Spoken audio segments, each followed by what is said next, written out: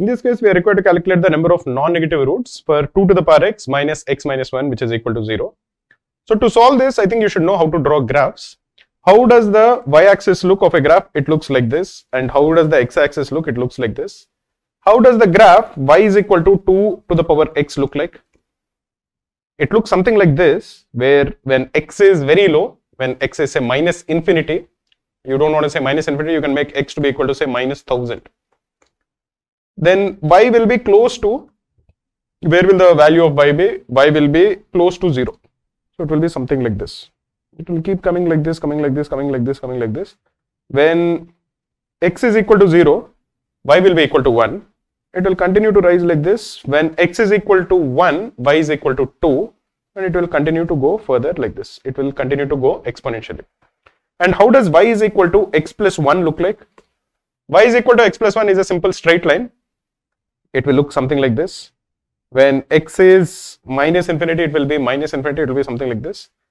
It will go like this and it will continue to go like this.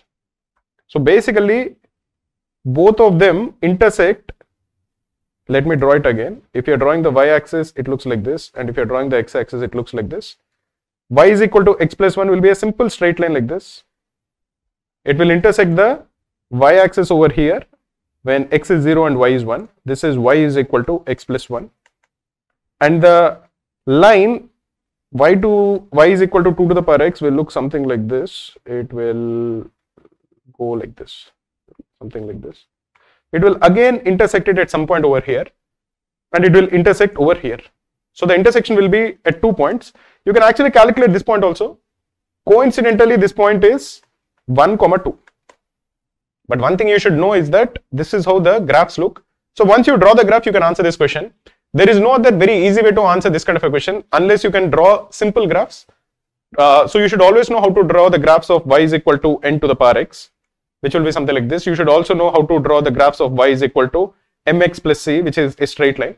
So once you know how to draw these graphs, you can answer these kind of questions. And here the correct answer is 2. For more CAT level questions and detailed video solution, just go to Google and search Cracku CAT questions.